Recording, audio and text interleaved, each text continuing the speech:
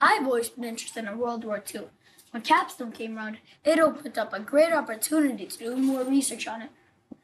I figured that there were so many battles that were important to the Allies success in the European theater, I could just speak about the top five battles. The five battles my research led me to was the Battle of Britain, Battle of Stalingrad, Operation Overlord, Battle of the Bulge, and the Battle of Berlin.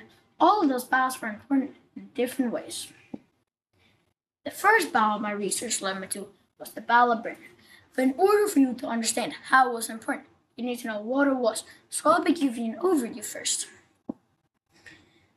The Battle of Britain was an aerial battle over the English Channel. It was the British and Germans that fought in this battle.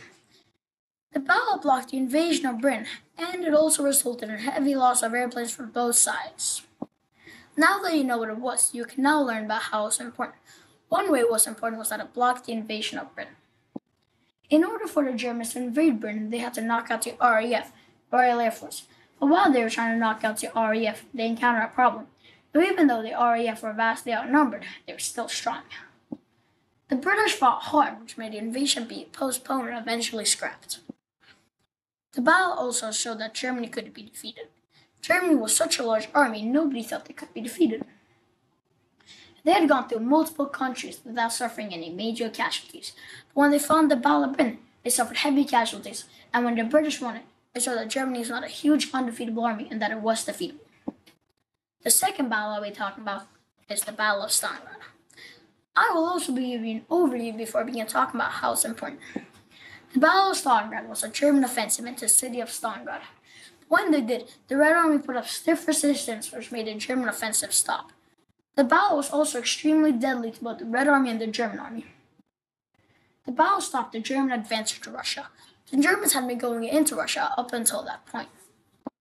But when they reached the city of Stalingrad, the Red Army put up tough defense, which made the German offensive stop. The battle was also a turning point in the war since the Germans lost their entire Sixth Army, which included 330,000 elite soldiers. The third battle be talking about is Operation Overlord. As well as I did for the other two battles, I'll be giving an overview first.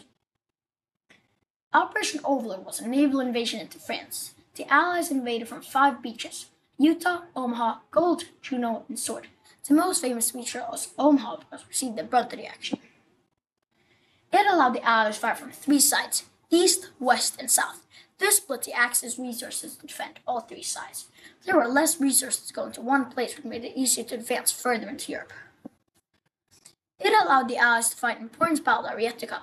It also allowed a couple of Allied countries to fight on mainland Europe, which them fight on some of the battles on mainland Europe.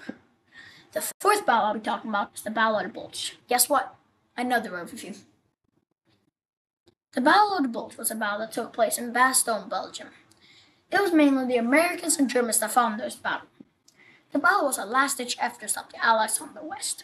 The battle was in freezing conditions, and the Americans had not been given proper winter gear.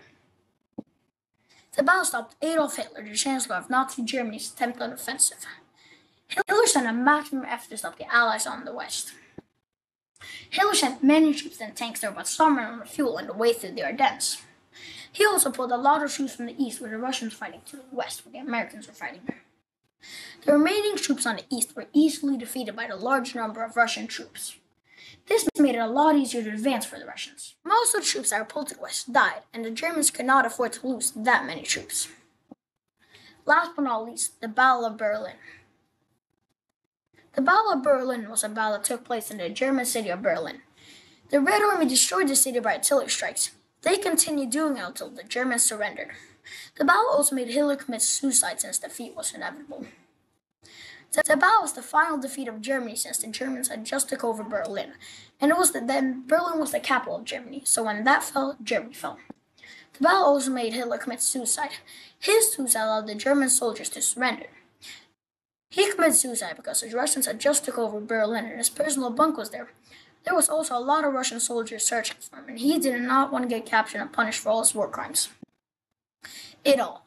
All of these battles were important in different ways, like being a turning point war and making a leader of Axis country commit suicide.